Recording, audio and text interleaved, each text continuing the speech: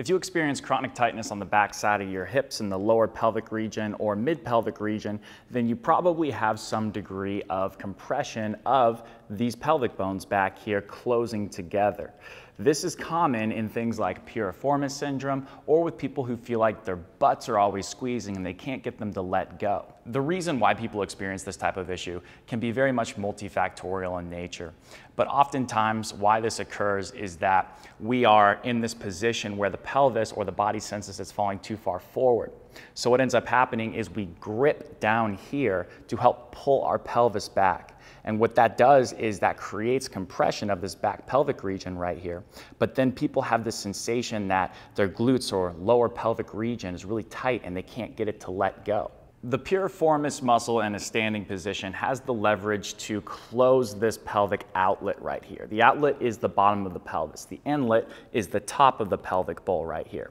So when I refer to the outlet, I'm talking about this portion down here. So when we have a contraction of the piriformis muscle, it externally rotates this femur, pulls it out like so, but it also closes this space right here because of the line of pull where it attaches on the sacrum and also the femur. So if this space closes and stays closed, that means we're going to struggle to probably open up that space and create length within that pelvic outlet right there. So if we don't have the variability of pelvic movement and also the ability to internally rotate the femur, then we probably are going to struggle to resolve this long term and stretching might provide some temporary relief, but we're not actually going to see a lot of long-term changes in most cases. Part of the solution is yes, we do actually want this space to open up.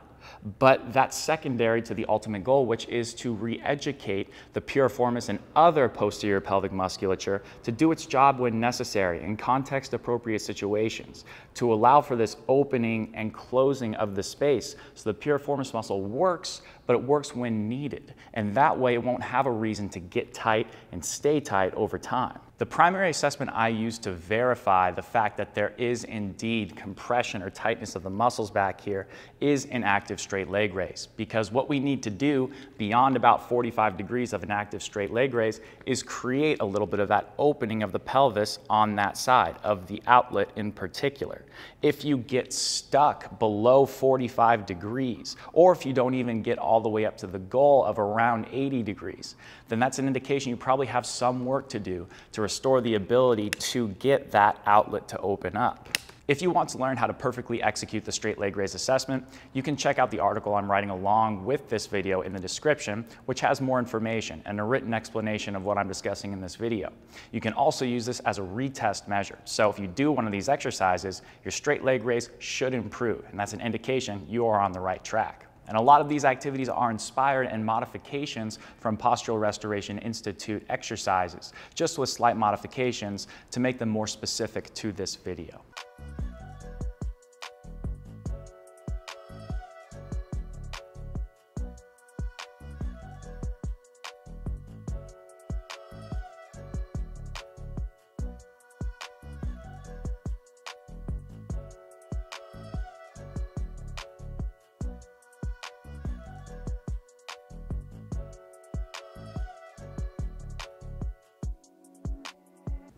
This is the standing supported posterior hip capsule stretch. The purpose of this is to open up the glutes and the hips and the back hip region and allow room for that femur to slide within the hip socket. So to set up for this, we need a table or a box about waist height. We want a one to two inch book underneath our back foot and we want our back toes in line with our front foot mid-foot. So what we want to do here is we want to get about, that's about, I would say, 10-ish inches away from that box and then bend both knees and then get really heavy on the back heel there. We want to have about 90% of our weight on this back foot here, keeping the whole foot flat, but keeping most of your weight in this heel right here. Very nice. We should be able to feel the whole heel grounded. A little bit of Trevor's shoe is off here, but he's still got his whole foot here secure. This is just the back part of his shoe, but his heel is grounded on that book. Now, keep feeling your big toe, little toe, but again, most of the weight's back here. Push this right knee forward, but stay heavy on this back heel and push this left knee in. Good. That should allow him to recruit that left inner thigh muscle.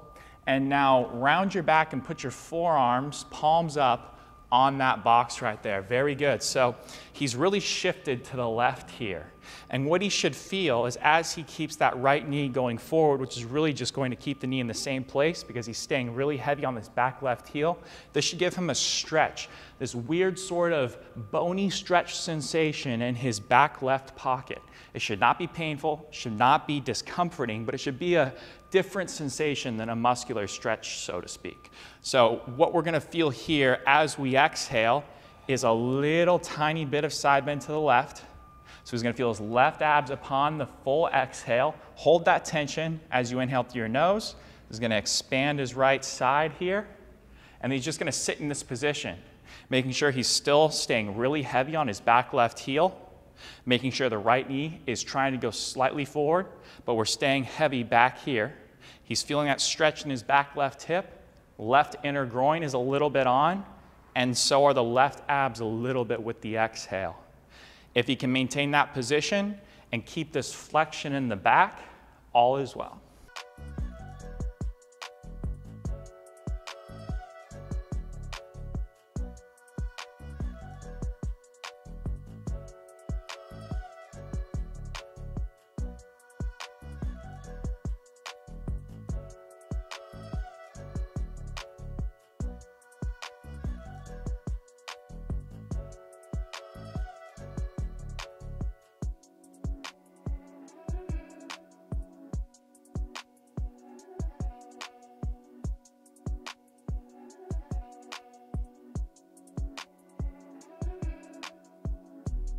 This is the TRX supported hip shift squat activity. The purpose of this activity is to train the ability to stay shifted into one hip to drive internal rotation on this back leg right here and turn our pelvis to this side. So to set up for this activity, you want the TRX on something where it's pretty high. It's going to allow you to hold on to those things and offload some of your body weight so that this exercise is easier. You want a book so that your whole foot can be flat on it, and it's about an inch to an inch and a half thick. We don't want the toes to be floating or anything where there's uh, not an ability to keep the whole foot flat, so make sure that the book is long enough as well. So now we've got the weight on the back heel here, but the whole foot stays flat. I'd say about 75 to 80% of his weight is on that back heel on the left here. And then his left toes are in line with his right midfoot. So he has a slightly offset stance, but his feet are still hip width apart. Now, Trevor, unlock both knees for me. And I want you to just tuck your hips. Good, get those hips to rotate back, back, back. And now I want you to push through the inner edge of your arch right here, feeling the ball of the big toe right here, not his actual toe, but the ball right here, and then his inner heel on the right side. He's gonna feel this left outside heel right here. But again, both feet are staying flat. Now, push through this right foot right here and have this right foot or this right knee just go slightly forward and the left knee going slightly in. As he does that, he should feel some inner thigh on the left side engage. And now I want him to round his back, really round that back, getting some flexion there. Very nice. You are probably going to lose a little bit of height, but we don't want it to obviously round over too much. You should have a nice curvature right here though. That'll allow you to stay shifted back into this hip without overextending our back, which is what we're trying to educate the body to do. Move through the pelvis, not extend through the low back. Now, maintaining that foot pressure on both the right and left foot, Trevor, I want you to keep your right knee going forward, pushing through the right inner edge. Keep your weight in your left heel and the left knee going in. And I want you to exhale and squat down, staying nice and tall, keeping that back rounded. Good, good, good, good, good. He's to exhale down until he gets to just below parallel. He's to inhale and push through his left heel as he stands up. Very, very nice. And now he's just going to go through repetitions of that making sure that that right knee stays forward, left knee stays back and going in. He should feel a ton of left inner groin, some quad on the left, and potentially a slight amount of glute on the right side as he pushes that arch into the ground. During these exercises, as I mentioned in the actual walkthroughs themselves, you're probably going to feel a very interesting sensation of a stretch, which is unlike any other type of muscular stretch you may have felt in the past. What we're really doing is opening up the space for this pelvis to open in the back outlet, but also we're creating room for this femur to slide back. So what you're really feeling is this femur moving back within the pelvis region right here and the hip socket. And that's exactly what we want to be feeling because that's an indication we are in the right position. If it's painful whatsoever or discomforting beyond the sensation of a mild stretch, then that is an indication you are not ready for this and you should not continue. Some people actually have a really hard time feeling that sensation of the femur moving back, as I mentioned. This was actually me when I first started doing these types of activities. What some people need, it's about 20% of people, they need a slightly different type of hip opener or posterior capsule stretch to allow them to get a little bit more of a push of the femur back in a side-lying variation like this.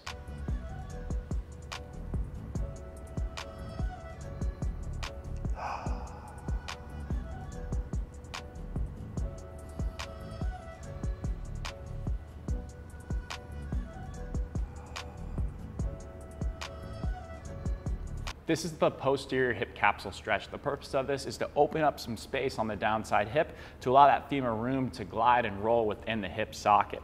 To set up for this, we want to be in this side lying position where we have uh, whether a box or a bed or some sort of object where this leg can be resting on top and then you can have this bottom side leg flush against the wall right there. It's really important that it stays flat the entire time. So he's in a straight line from his leg right here all the way up to the top shoulder right here. He's got a towel about an inch or two thick underneath his left side right here, starting at his waist, going up to right about nipple line right here. And then he's got a foam roller underneath the left knee right here. And a roller usually is best for this. We don't usually want uh, anything else, but you could use a stack of books. That can work if you have nothing else to use. So Trevor, what I want you to do to set up for this is first, I want you to make sure that you're straight. So he's there. That's good. Now I want you to push your left heel into the wall, keeping everything flat. The whole foot is in contact with that box. And then I want you to tuck your hips. Very good. Now, keeping all this in line, I want you to reach your right arm forward, not dropping really far forward, but keeping that in line. And now I want you to roll your right hip over your left, keeping yourself tucked while maintaining foot pressure of the heel into the wall there. He's going to feel a weird sort of bony sensation of a stretch in his bottom side left hip. That's the sensation we're going for, but it should not be painful. Please stop if you experience pain in this position. So what he's gonna do is just exhale all that air out into that position, and he's gonna feel these left obliques engage. That's great. Nice, soft, eight second-ish exhale, trying to get all that air out, and he's gonna feel those left obliques. Pause and inhale. He's going to feel this stretch out right here on the top right side. All the while making sure that this leg is pretty straight and that left heel is in contact with the wall and this right hip is slightly rolling over the left. If you don't feel that stretch in your bottom side hip, then there is something you can do to help create that sensation. Some people don't have full hip extension on this back hip right here, so it's gonna be hard for them to keep it in line. You can come forward just a little bit more and then make sure that you don't roll that shoulder forward with it too much. And then do the same thing, tuck, roll the hip over, making sure you're keeping contact of that foot on the wall right there or the box in this instance.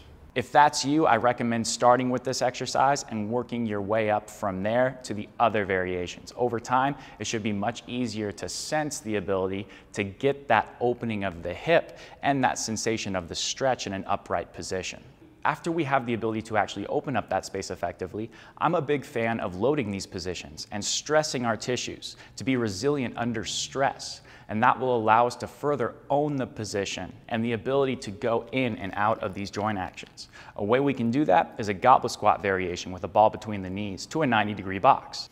We're constraining the body into a position here where we are biasing internal rotation of the pelvis at the bottom position. So we're going to add a little pause at the bottom of this position to help bias more internal rotation of the hips. So to start here, we want to get on some wedges, but you could also just use five pound plates and put your heels on them. And you want somewhere around an inch to two inches of elevation, whatever is going to help you stay stacked, meaning that your rib cage is directly over your pelvis. You can maintain a slight pelvic tilt. So Key, go ahead and hold that squat, or sorry, that weight right there in a goblet squat position. And then what I'm gonna have you do is I'm gonna have you inhale the top through your nose. Good. Exhale, squat down, letting those knees come forward. Good. Light tap. Hover right there for an inhale. Exhale, come up. The ball in between the knees is essentially just serving as a reference for you to keep your knees in line with your toes, but also provide a little bit of a bias towards that backside, opening a little bit, especially as we get to 90 degrees. You can also do a deadlift variation like so, but this requires a little bit more control over the ability to open up that space. You can try this right here.